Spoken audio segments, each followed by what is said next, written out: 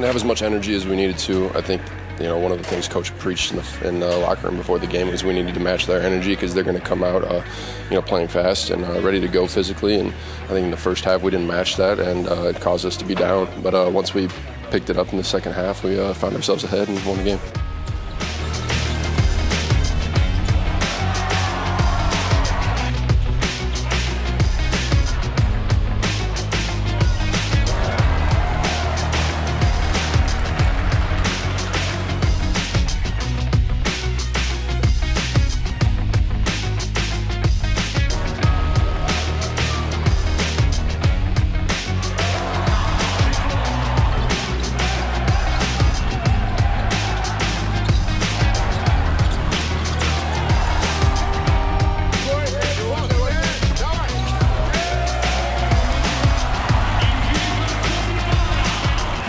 Такой график наложил отпечаток на первую половину, но, опять же, нам не приходится выбирать. Мы в таких условиях, и Дуршафака тоже в таких же условиях. И впереди еще много, я думаю, что будет таких встреч, называем back-to-back, когда мы будем или на выезде еще играть, или, или дома через день.